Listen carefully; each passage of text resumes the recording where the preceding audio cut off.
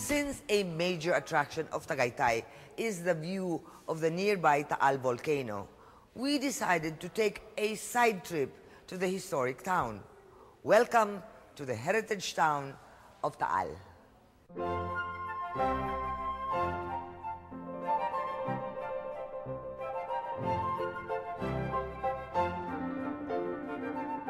Taal, Batangas is one of the best preserved Spanish colonial towns in the country.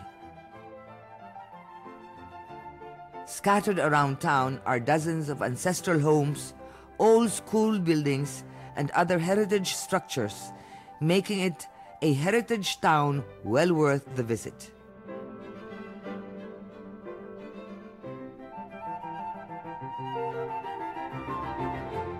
At the heart of Taal is the Taal Basilica. Consecrated to Saint Martin of Tours, the first church was built in 1574 in what is now San Nicolas. In 1754, this church was destroyed by a violent eruption of the Taal volcano. The church was then transferred to its present location in 1755, but was again destroyed, this time by an earthquake. The current structure was built in 1856.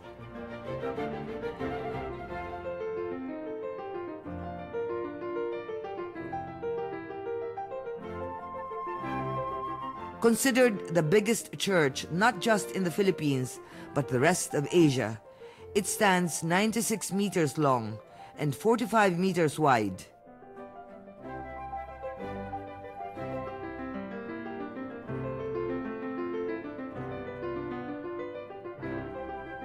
And the tabernacle is made of silver, the only one of its kind in the Philippines.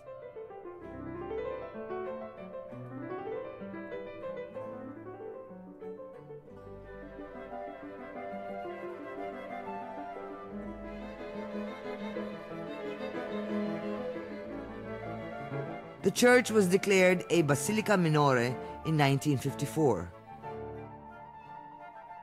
I like people to go to Taal because when I say that I'm from Taal, they think that I live in the volcano. They don't know that the volcano or the Taal Lake is named after Taal because Taal is the number one establishment of the Spaniards in Batangas. It was uh, founded in 1572, which is just one year after Manila. You can still see a lot of old houses here, like in Vigan, but the difference is this is one hour and a half away from Makati. So it's very accessible, it's a day trip.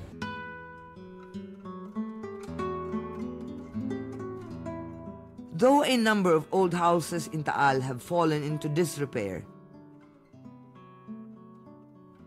a few have been spruced up and opened to the public, not just to generate income for the town, but to remind people of Taal's heydays as home to the Ilustrado set.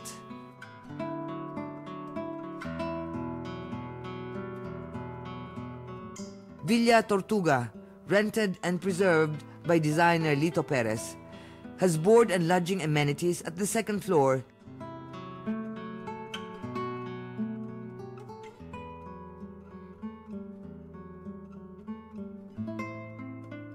As well as a heritage restaurant where servers are dressed in period costumes, serving traditional Taal delicacies, some with added twists, like the malunggay sotanghon soup, tapang Taal, adobong dilaw, pininyahang baboy, and tomatoes stuffed with sinaing na tulingan.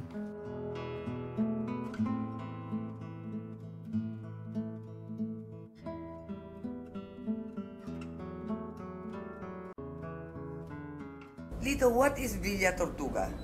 Well, actually, uh, Villa Tortuga is a restored 19th century house Mm-hmm. In Taal, Batangas. It's a private house Okay. which accepts visitors So- who would like to experience colonial life in the 19th century. This is owned actually still by Doctora Sagala and her cousins Mm-hmm. family. They got it from their Leonor Garcia ancestors. Mm-hmm. But this house is circa 1870s, which was built by the Gahol family. Originally, This was a Gahol house. Then it passed on to different relatives na napunta sa ibang side. Parang bed and breakfast. It is, but our main attraction of the house is actually when you come here for lunch uh-huh. and then you put you in costume na Filipiniana at the turn of the century uh-huh. and have your photo taken.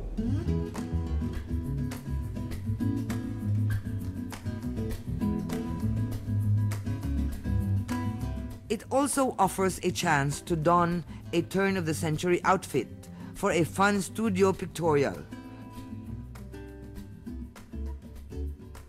So get ready to strike a pose. Do a lot of people like to put on a costume and have their picture taken?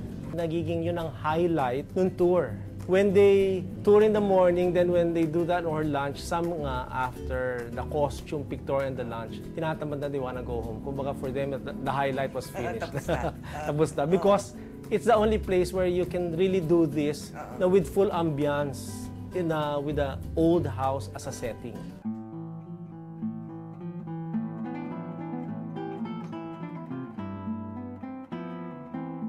There's the Gliceria Marella de Villavicencio house, also known as the gift house, since it was a wedding gift to her by her husband Eulalio in 1871.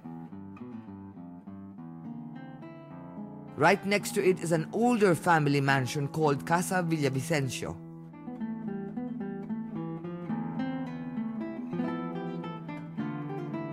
As striking as the exterior of the house is, it pales in comparison to the very ornateness of its interior. From the intricate patterns of the floor tiles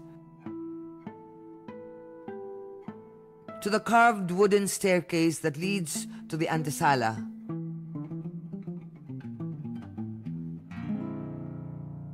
Walls richly painted with Art Nouveau designs.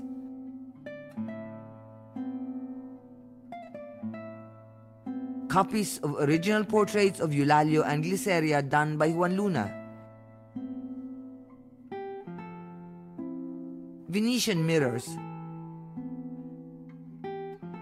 as well as four poster beds, bauls, altar table, and kneelers, all done in Philippine hardwood. Nag-tour kami sa mga Cecil House. Pinapasok namin yung bahay-bahay na yun. Then, may natututunan kami kada bahay.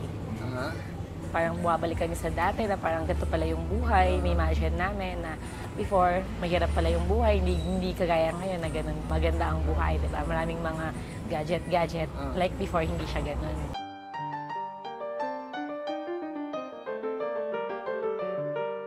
There's Villa Severina, the family home of the Nobles and Atienzas, built in the 1870s and restored as a bed and breakfast, with four French colonial suites and an airy lounge with a tropical colonial feel.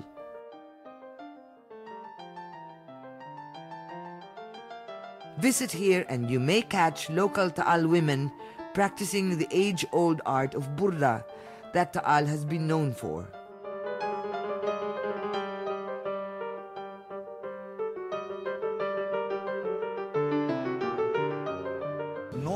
When the house was first built by Severina Atienza, she used to have a burda factory here at the bottom of the house. Now, ever since I purchased this house in 2009, I turned it into a bed and breakfast called ah. Villa Severina. So it's a old ancestral house that has been, you know, brought into the 21st century.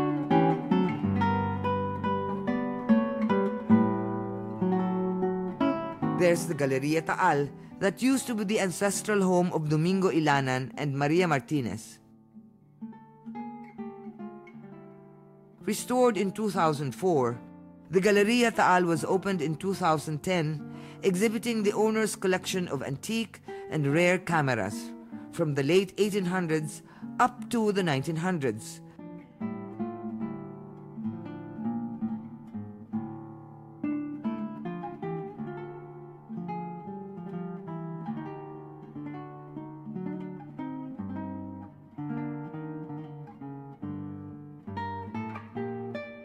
As well as a vast collection of antiquarian Philippine photographs from the Spanish and American eras, the pre and during the Spanish invasion, the Marcos years, and the EDSA Revolution.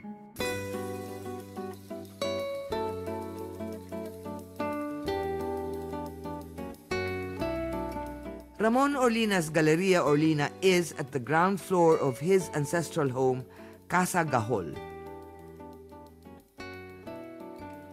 The exhibit area, which covers the whole of the ground floor, features works of Taal's young artistic hopefuls. I also have a gallery in front which is called uh, Galleria Orlina. We just had an exhibition two months ago, a very successful one.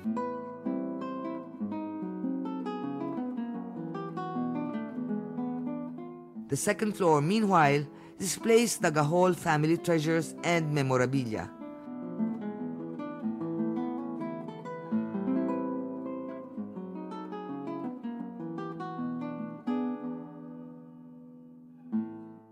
Ancestral house of the Gahol. My mother is Paulina Gahol. She's one of the seven siblings of uh, Francisco Gahol and Ana Asqua.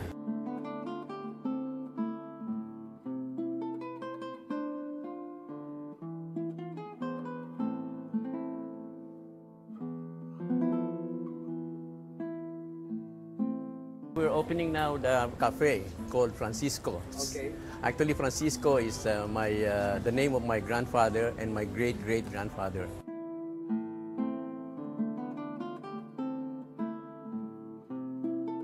I love my town, and you can see a lot of things here.